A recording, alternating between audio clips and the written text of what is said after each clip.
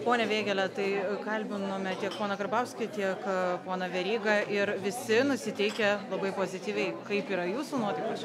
Tai taip ir reikėtų nusiteikti. Matom rezultatus, jie tokie yra prognozuojami. Kokie bus iš tiesų, pamatysim netrukus, po kelių valandų. Tada bus galima komentuoti visapusiškai.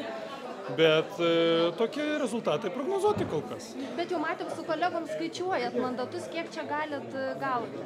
Aš esu prognozavęs, nenoriu viešai prognozuoti, kiek yra, bet e, tai, ką aš matau dabar iš mažųjų apylinkių, tai yra maždaug prognostiniai rezultatai. Klausimas, kaip didieji miestai ir didžiosios apygardos apylinkės užbalsos, tada bus akivaizdu jau.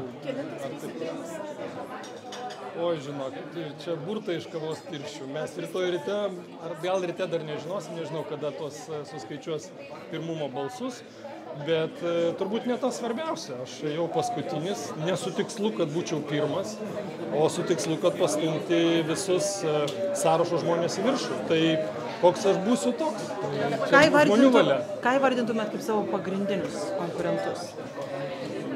Mano supratimu, e, pagrindiniai konkurentai yra dabartiniai valdantieji. Kodėl kalbu apie konkurenciją? Dėl to, kad mano supratimu, jeigu pavyks suformuoti centro koaliciją, tai tai būtų didžiausia pergalė. Ir dabar turbūt kova yra tarp centro ir tarp tų konkurentų, kurie yra dabar, tai, dabar valdantis. O negalvot, kad gali taip nutikti, jog socialdemokratai kvieštų skvernelį sėkmės atveju ir dėl skvernelio nesutarimų su Karbauskiu tiesiog jūs liktumėt nevaldančioje daugumoje. Tai visai gali būti. Čia reiktų pasakyti, kad viskas prie skaičiai.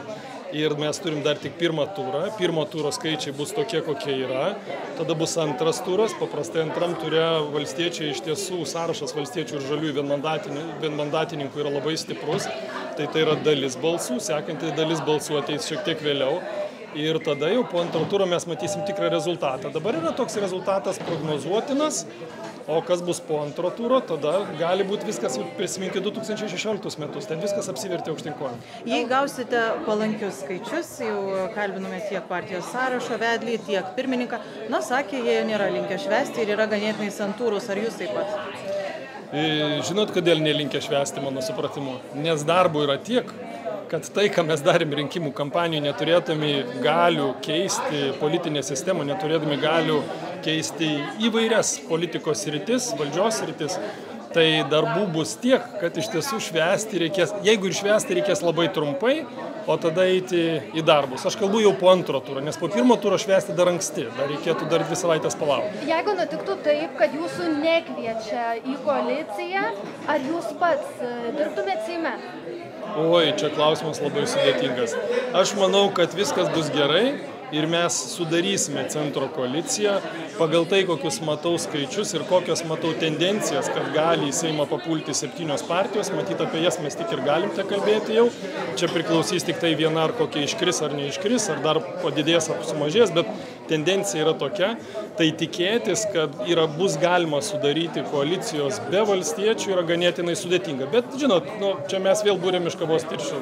Pamatysime. Negalima atmesti tokio varianto, tokio atveju, ką jūs darytumėt. Čia atsakyti labai paprasta yra, liktumėt ar neliktumėt Seime, jeigu nebūtumėt valdančiai koalicijai. Aš į šitą klausimą atsakysiu, kai bus galutiniai rezultatai ir kai paaiškės visi dalykai. Bet aš į Seimą einu su tikslu, kad pakeist politinę sistemą, su tikslu, kad pakeisti valdymą. Investavau metus tam, aš esu kandidatas, buvau kandidatas ir iki šiol dar esu kandidatas visus metus. Ir aš visada sakiau žmonėm labai atvirai aš spręsiu visada, kur galiu geriausiai realizuoti tai, ką žadu. Aš viliuosi, kad Seime yra geriausia vieta realizuoti tai, ką žadu. Bet iš jūsų atsakymo galima suprasti, kad jūs e, galite ir nelikti Seime, jeigu nebūsit valdančiai daugumą. Ne, aš to nepasakiau. Aš kalbu apie tai, kad aš spręsiu klausimą tada, kai bus visi, visi skaičiai ir kai mes žinosime, kokį svorį turi valstiečių ir žaliųjų sąrašas ir ką mes galim padaryti. Ir tada spręsi pats, ar tu gali save realizuoti geriau ten, ar gali realizuoti save geriau kitur. Opozicijai veikti iš tiesų yra labai sudėtinga ir e, ar galima pasiekti tų tikslų, kuriuos aš žadėjau, nežinau.